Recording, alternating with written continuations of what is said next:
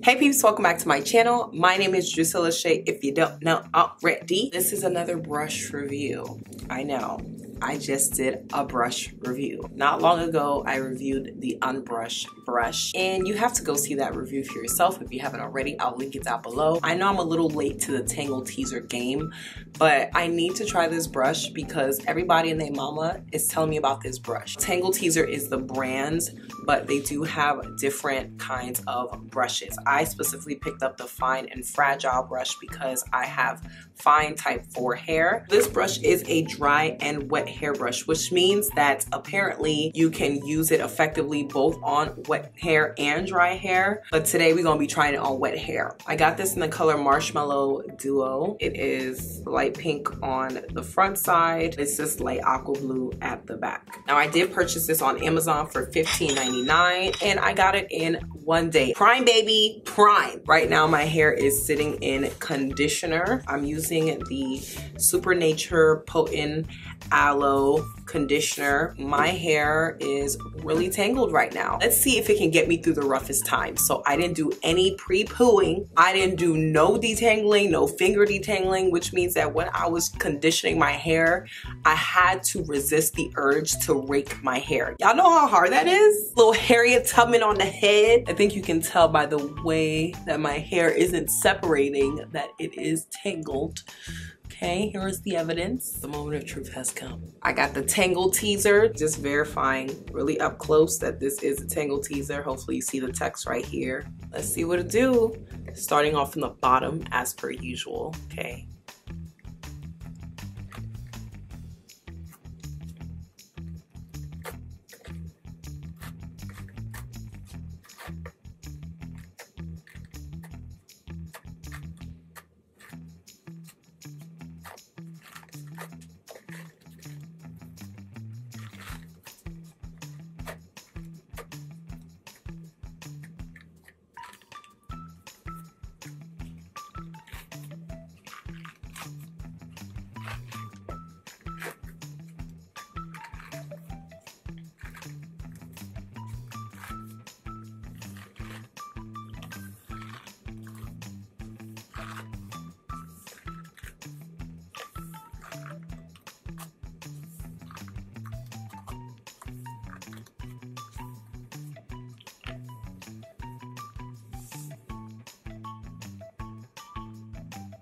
Okay.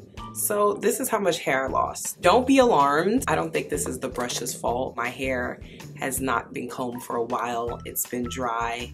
It's been going through it. I don't want to speak too soon because I almost did that for the unbrush and if I would have just given you a review based off of like one or two parts then I would have done you a disservice but I'm deciding that I'm going to follow suit, do the same thing with the Tangle Teezer. Before I say too much, I'm gonna go ahead and detangle the rest of my head, but you will get to see how this works on my hair, especially if you also have fine hair. You just get to see like at least how my hair responds or reacts to the brush. So hopefully this part is helpful. I am going to go ahead and finish off my head and then I will come back with my final thorough thoughts. I also totally forgot to do this before I started combing my hair so y'all are gonna have to excuse me with all these little hairs in here but I did want to say that this brush does have a mixture of short bristles and long bristles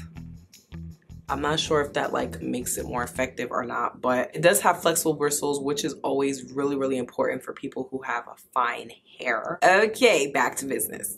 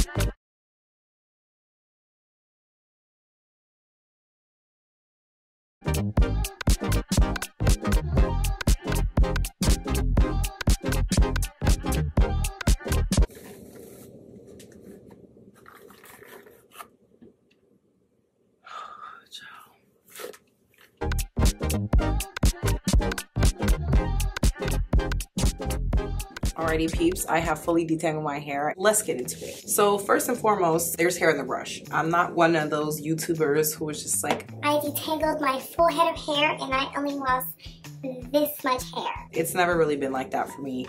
And on top of that, I am due for a protein treatment. Don't pay attention to if you saw hair in the brush. It's not the brush's fault because first and foremost, what I do have to say about this uh, Tangle Teezer brush is that it is extremely gentle. Something that I remember reading on their website was that it's uh, gentle on the scalp, but it's tough on knots. So I did try like massaging this on my scalp, like just combing not only my hair, but also like, you know, kind of give my scalp a nice little comb and it felt so good. I love it on the scalp. It is very gentle. It gives it like a nice you know, light exfoliation type of massage. So love that about it. Um, but yes, the brush is very gentle. It wasn't um, tugging on my hair in any way, but I find that to be common with most brushes that have, you know, these very, very soft and flexible bristles, which is why, again, I'm saying it's an essential for anyone who has fine hair to have a brush with flexible bristles.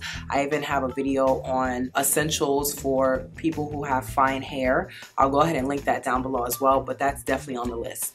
So it's gentle, check mark on that. On the same note, I think that it was so gentle that it was not, as they say, tough on the knots. They claim that it's tough on knots, but I did not find that to be true at all. When it came to like, especially the back of my hair, the middle of my hair where, you know, it gets the most knotty, it was not fun. I found myself getting very tired because I had to continue to go over the knots over and over and over and over. It felt like it was not effectively detangling the parts that were very, very knotted. I even had to like separate some parts even more and make this section even smaller in order to detangle because it was not getting through the knots very well at all. I was getting very tired. My arms were just tired. It's very hard because I'm really used to the unbrushed brush at this point and when it came to that brush I realized I was able to detangle way faster even though my hair was very very knotty as well when I tried that brush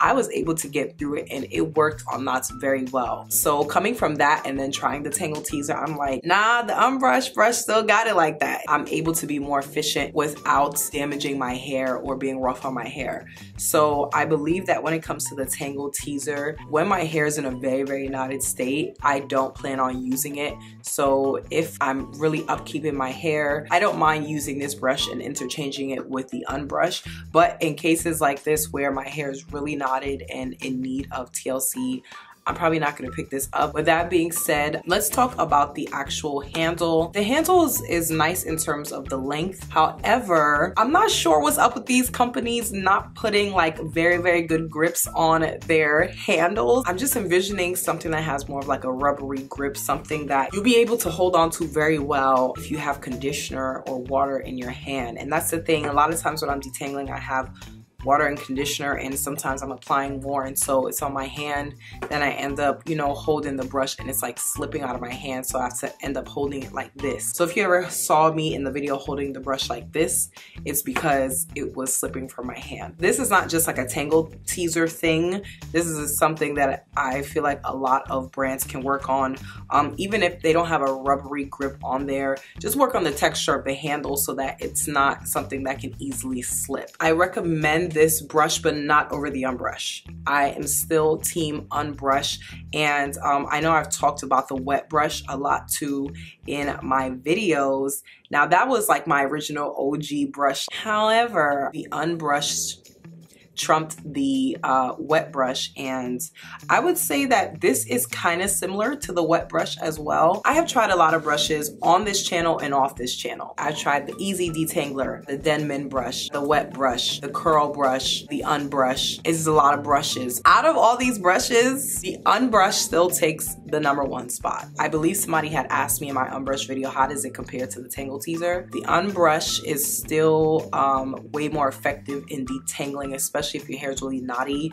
It gets through it faster. It's more pain-free. I've used it also on dry hair don't tell, don't tell nobody. That's our secret. Works perfectly fine. It cuts down my time of detangling.